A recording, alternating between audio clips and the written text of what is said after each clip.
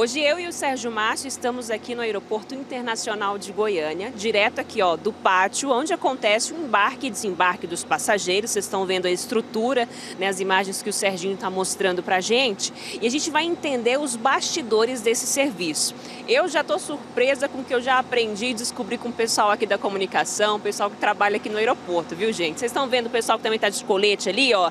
Cada um tem uma responsabilidade. Mas tem uma das funções que a gente não sabe, né? Muita gente não sabe, na verdade, alguns sabem, mas que é uma das principais aqui para manter esse pátio aqui, essas pistas organizadas e também para cuidar da segurança de quem vai e quem chega aqui no aeroporto de Goiânia. Por isso eu vou te convidar para me acompanhar. Vamos passar por aqui, ó, no meio dos veículos, do pessoal do aeroporto de Goiânia, para a gente conhecer uma das principais funções do aeroporto. Aqui, ó, fiscal de pátio. É isso mesmo.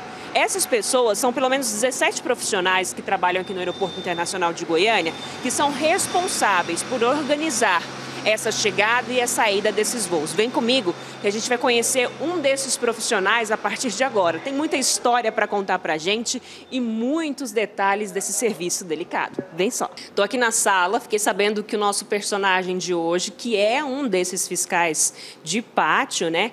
Ele chama Samuel.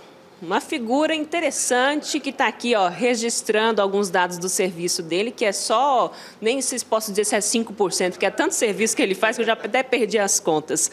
Samuel, me conta, o que, que você está fazendo agora, nesse exato momento? Estou finalizando a inspeção que a gente iniciou hoje na, pela manhã, né? Que é a primeira inspeção do dia. A gente faz ela entre as, entre as 7 e meia e até finalizar, né? Depende do tráfego de aeronave. Hoje, até o momento, quantas aeronaves vocês já atenderam aqui nesse pátio? Cara, até agora já foram umas. umas, umas seis, umas seis a sete aeronaves já daqui uns minutinhos já está chegando mais gente, né? Chega mais, aqui é gente pra caramba chegando, viu? Só para você de casa entender, gente, é um trabalho duro que esse pessoal daqui, são pelo menos 12 horas, em uma jornada de 12 horas de serviço, que eles começam a partir das 7 horas da manhã, tem dois turnos, né? Tem o pessoal que começa às 7 da manhã, tem outra turma que começa às 7 da noite, e aí ele está aqui fazendo esse serviço aqui burocrático, podemos dizer assim, mas só para você ter ideia dessa função, sabe aquele pessoal que fica sinalizando no meio da pista? Ele é um dos responsáveis por fazer isso aqui. Samuel, há quanto tempo nessa profissão já? Como fiscal, já eu entrei em junho do ano atrasado, um ano e meio mais ou menos já, que eu estou aqui. Como é que você descobriu isso? Sempre gostou dessa área?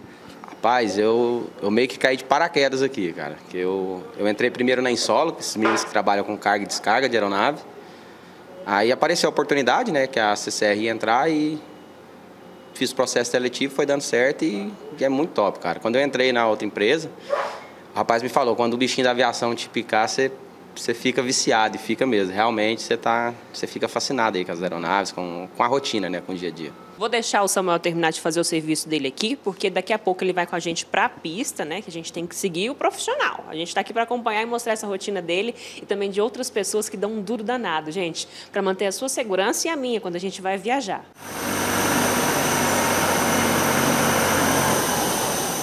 Na área comercial de voo, são 12 vagas para os aviões pousarem, chamadas de posições. E parte do trabalho dos fiscais de pistas e pátios acontece aqui. A gente acompanha agora o serviço que o Samuel faz, mas não é só esse serviço. Vou pedir para ele chegar aqui na frente, porque eu tenho um limite aqui de faixa para respeitar.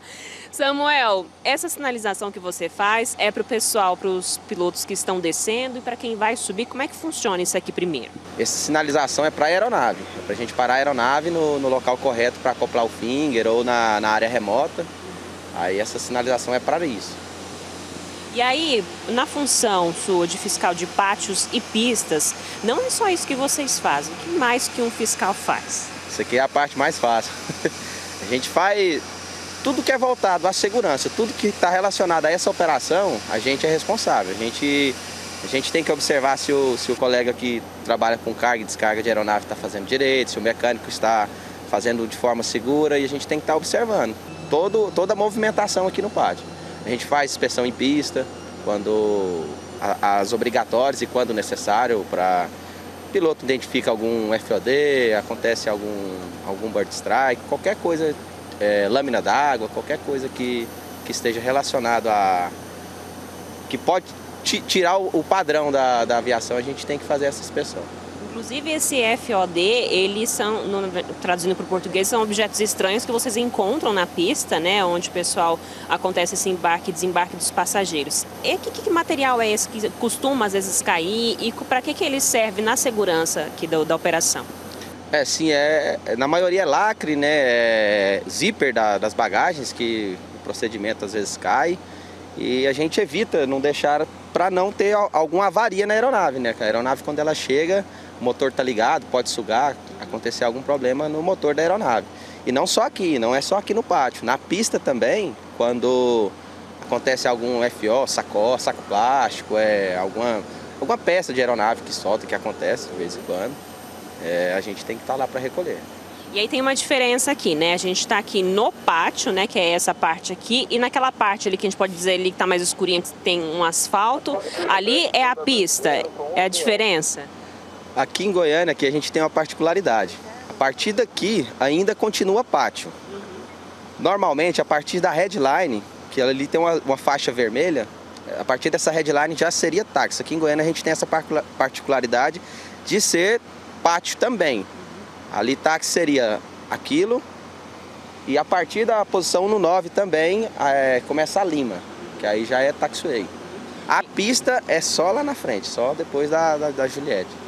E aí tem diferença das aeronaves, são modelos diferentes, tamanhos diferentes. Como é que é feito esse serviço quando vocês vão é, receber esses passageiros? Por exemplo, a gente está vendo aqui tem a escada, né? Vocês têm que colocar direitinho lá na porta. Como é que funciona todo esse preparo para poder receber e também para poder esses passageiros embarcarem em segurança? É, sim. É, cada modelo de aeronave a gente tem as posições corretas de parar ali no, no finger, né? Para para poder acoplar o nível de segurança da headline para as aeronaves que vão passar atrás. E, e a questão do, do, desembarque do passageiro, quando vai pelo finger, é, não interfere muito o modelo da aeronave, só a altura do finger mesmo e, e é isso. Vocês estão vendo, né, gente? Aí ele fala assim, só isso, só isso, mas é um tanto de trem que até a gente fica perdido.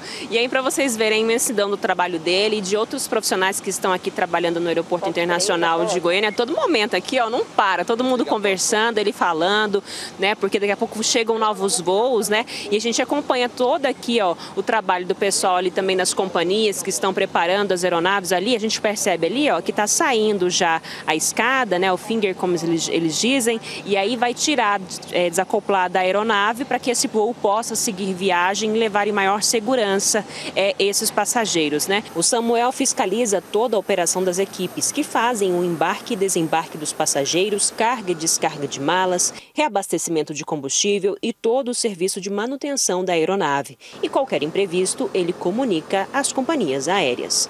A gente se sente mais reconhecido, né? A gente se sente muito importante aqui por estar responsável por, pelo embarque de tanta gente que passa pelo nosso aeroporto Goiânia.